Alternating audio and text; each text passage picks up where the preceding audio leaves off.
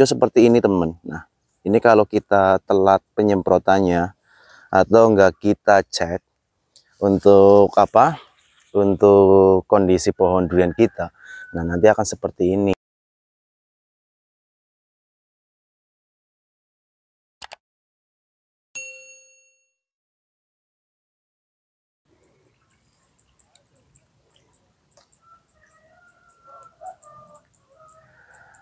Assalamualaikum warahmatullahi wabarakatuh. Selamat pagi teman-teman Para pecinta durian di mana pun berada. Berjumpa lagi di channel youtube kami Adi Rumeso Bibi Durian.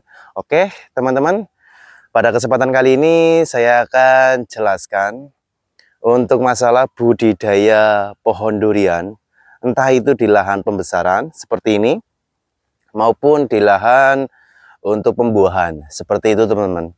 Jadi ini saya akan jelaskan mulai dari awal sampai dengan pembuahan untuk masalah budidaya pohon durian.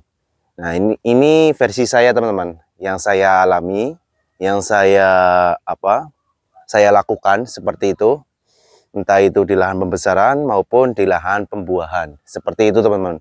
Jadi untuk kali ini kontennya tentang budidaya pohon durian. Seperti itu. Entah itu dari masalah perawatan terus pemupukan itu nanti saya akan jelaskan. Seperti itu. Jadi untuk teman-teman jangan lupa like comment serta subscribe nya teman-teman. Dan jangan lupa share video ini agar semakin banyak yang menonton. Untuk teman-teman di mana pun berada Nah ini tanaman saya yang ada di lahan pembesaran yang saya besarkan mulai dari kecil seperti ini. Nah ini kecil ini usia tiga bulan teman-teman. Usia tiga bulan kita tanam dari ukuran 30 cm seperti itu.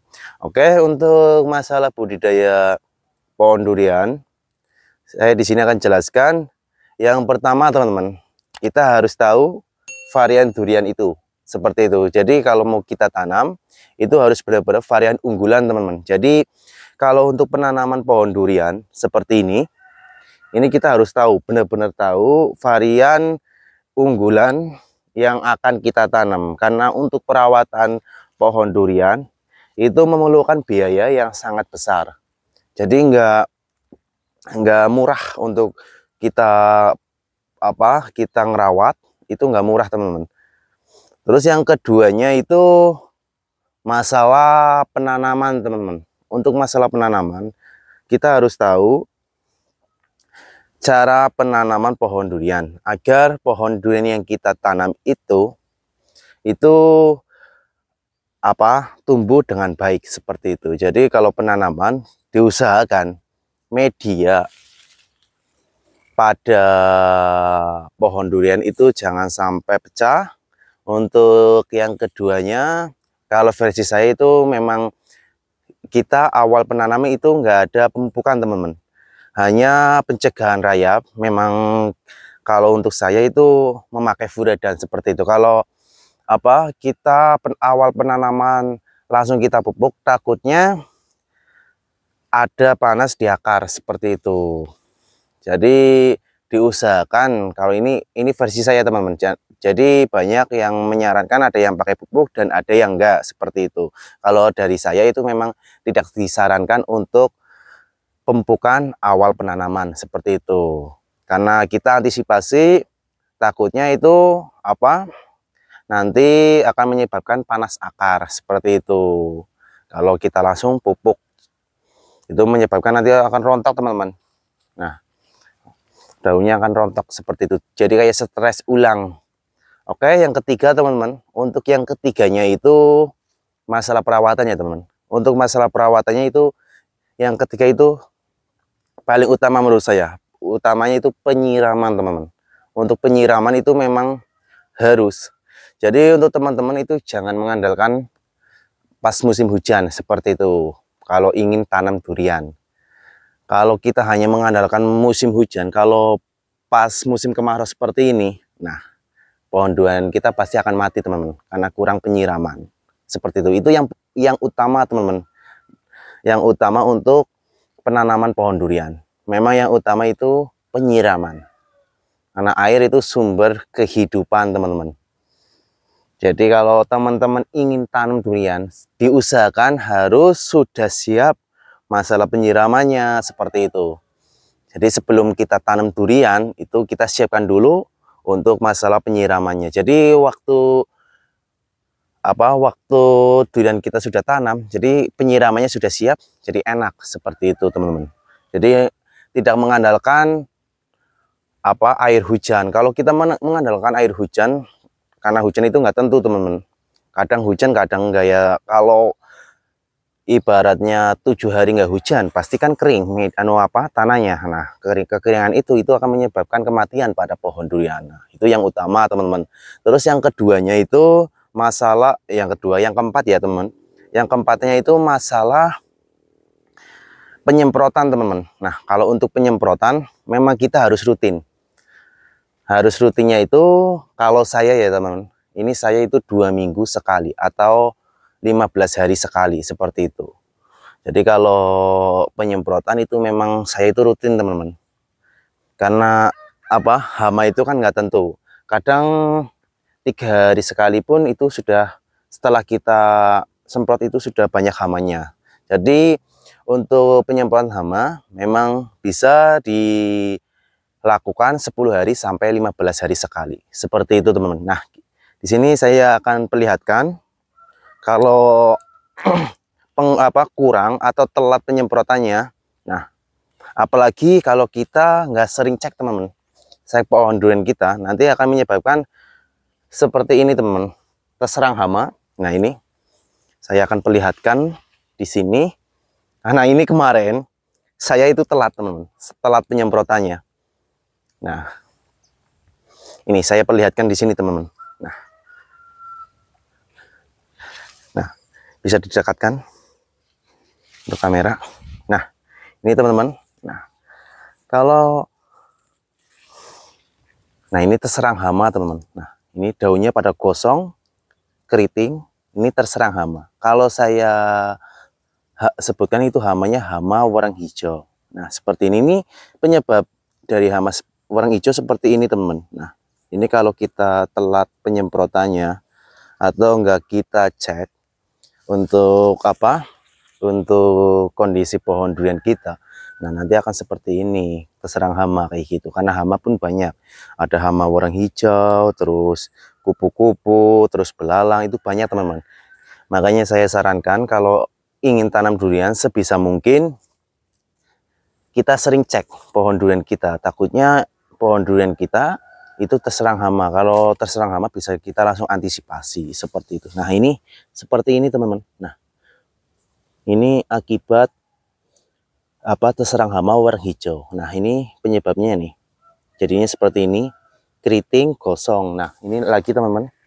Nah ini rata-rata yang keserang itu daun-daun muda teman-teman. Nah ini teman-teman bisa lihat. Nah ini saya contohkan teman-teman kalau memang kurang penyemprotan atau telat penyemprotannya. Nah ini seperti ini. Nah kalau untuk seperti ini ini juga akan menghambat menghambat pertumbuhan pohon durian kita karena namanya pohon pasti ada masa fotosintetis atau pemasakan seperti itu. Kalau daunnya seperti ini ini nggak bisa melakukan fotosintetis kalau daunnya rusak seperti itu teman-teman. Nah kalau seperti itu juga akan menghambat pertumbuhan durian kita. Makanya saya sarankan kalau untuk penanaman pohon durian itu harus sering kita cek. Jadi kita tahu kondisi pohon durian kita seperti itu. Nah kalau apa kalau terserang hama seperti ini nih kayak pohon durian saya ini ini ada beberapa memang yang terserang hama warna hijau jadi daunnya pada gosong keriting kita langsung tangani teman-teman jadi enggak nggak terserang semua jadi seperti itu nah itu mengapa kalau untuk penyemprotan itu dibikin rutin ya untuk pencegahan hama seperti itu dan untuk apa ya untuk nutrisi daun kalau penyemprotan memang kalau saya pribadi itu kita campur dari mulai insektisida, fungisida, dan nutrisi daun. Jadi satu kita semprotkan. Jadi enggak dua kali kerja. Kita langsung satu kali kerja ibaratnya ya membasmi dan memupuk lah seperti itu. Nah untuk yang tadi keempat ya kelimanya itu masalah pemupukan teman-teman. Untuk masalah pemupukan itu kalau saya pribadi itu satu bulan sekali. Satu bulan sekali untuk pemupukannya teman-teman. Nah untuk pemupukannya itu macam-macam memang. Merek pupuknya ada NPK kebanyakan ya NPK karena NPK itu sudah apa ya tertera uh, unsurnya. Jadi ada yang komposisinya itu apa setara atau apa sama kayak ibaratnya 15 15 16 16 nah itu komposisi pupuk yang kandungan unsurnya itu sama jadi seperti itu bisa dipakai untuk kita pembukaan pohon durian. Seperti itu teman-teman. Dan untuk yang keenamnya itu juga nggak kalah penting teman-teman. Itu masalah penggemburan. Penggemburan tanah itu memang penting. Karena kita juga apa mengejar pertumbuhan. Kalau nggak kita gemburkan, otomatis tanahnya itu pasti akan padat. Seperti itu teman-teman. Dan apa itu kalau padat itu kan nggak ada ronggang. Jadi susah akar itu akan menjalar. Kalau memang kita gemburkan kalau penggemburan itu bisa kita lakukan tiga bulan sekali atau enam bulan sekali. Seperti itu teman-teman. Nah untuk masalah penggemburan nah kalau saya biasanya untuk masalah penggemburan itu kadang kita gemburkan setelah itu kita langsung pempukan seperti itu teman-teman. Jadi langsung saja kita lakukan pempukan nah ini. Wah belalang. Jadi seperti itu teman-teman. Untuk masalah budidaya pohon durian memang kita harus benar-benar ekstra. Karena yang saya alami apalagi penanaman yang ukuran segini teman-teman yang ukuran kecil ini ini memang benar-benar lebih ekstra lagi karena ini ukuran kecil. Kalau rumputnya nggak kita bersihin terus dia akan ketutup pertumbuhannya pun akan lama bahkan bisa akan mati teman-teman. Seperti itu. Jadi kalau penanaman apalagi yang ukuran kecil ini ini benar-benar lebih ekstra lagi. Lebih ekstranya untuk masalah perawatannya seperti itu. Itu lebih ekstra lagi karena ini yang kecil ini, lebih riskan teman-teman. Menurut saya itu lebih riskan ini pun kalau kita tanam pertumbuhannya pun lebih lama lagi untuk sebesar ini. Ibaratnya inilah ini ini umur satu tahun teman-teman. Sudah ukuran segini ini satu tahun. Ya ini ketinggian 140 sentian nah, ini kita rawat selama satu tahun. Dan biayanya pun nggak murah teman-teman. Biaya perawatan untuk pohon durian itu nggak murah. Sekarang saya pribadi ini ini tanaman segini sekali penyemprotan itu habis 600 ribu. Sekali penyemprotan 600 ribu. Belum dengan pemupukannya pupuknya kita belum hitung. Ini kemarin saya kalkulasi untuk sekali penyemprotan untuk beli obatnya itu saya habis 600 ribu. Sekali penyemprotan untuk tanaman ini 7500 batang. Sebesar ini teman-teman. Nah ini bisa dilihat. Sebanyak ini ini 700 eh 700 7500 batang. Ini saya habiskan untuk penyemprotannya itu 600.000 teman-teman. Belum juga dengan penyemprotan atau pembasmi gulma seperti ini. Nah ini ini saya habis untuk beli obatnya teman-teman. Sekali penyemprotan ini habis 300.000 sekali penyemprotan. Sudah bisa dihitung 600 sama 300 itu 900 selama dua minggu teman-teman. Dua minggu. Belum ditambah dengan biaya pupuk. Biaya pupuknya berapa? Kita habis berapa? Ibaratnya ini kita total satu atau 50 kilo lah. 50 kilo. 50 kilo sekarang kisaran harga itu 300 ribu. 350 nah itu bisa dikalkulasi untuk biayanya. Nggak murah kan teman-teman? Sekali biaya perawatan. Nah ini sekali teman-teman. Ya kita rawat dengan usia tanam satu tahun. Berapa minggu berapa hari. Bisa bisa dikalkulasi. Nah itu untuk biaya perawatan. Seperti itu. Makanya saya sarankan untuk teman-teman kalau ingin budidaya durian itu memang harus dipikirkan ulang. Masalah kayak penyiraman terus variannya terus apa perawatannya itu harus benar-benar dikalkulasi. Karena untuk biaya perawatan pohon durian itu enggak murah. Karena saya pribadi mengalami untuk biaya perawatan ini ini masih di lahan pembesaran teman. Belum di lahan apa pembuahan. Itu beda lagi untuk biayanya teman-teman. Jadi semakin besar pohonnya semakin besar ini pohon durian kita untuk biayanya pun semakin mahal. Karena sekarang kita semprot untuk volume air atau satu tanknya itu kalau yang kecil mungkin dapat banyak tapi yang kalau udah besar segini paling cuma hanya dapat beberapa batang. Jadi kan hitungannya lebih banyak lagi ngeluarin biaya perawatannya. Seperti itu. Untuk pupuknya pun kalau pupuk sih ibaratnya nggak terlalu ya teman-teman. Maksudnya kita kasihnya itu nggak banyak. Sedikit sedikit sedikit saja yang penting kita rutin. Seperti itu teman-teman. Mungkin hanya itu saja. Itu apa penjelasan dari saya. Masalah pohon durian yang saya rawat seperti ini teman-teman nah itu versi saya teman-teman itu versi saya mungkin ya banyak pendapat yang berbeda cara penanganannya cara penanamannya maupun cara perawatannya seperti itu jadi itu versi dari saya teman-teman. Nah yang saya lakukan selama ini, selama saya menanam durian maupun di pembesaran maupun di pembuahan seperti itu. Nah itu pengalaman saya seperti itu teman. Ya kita sharing-sharing saja. Ya namanya saya pun itu masih belajar teman-teman. Belajar dalam arti merawat durian seperti itu.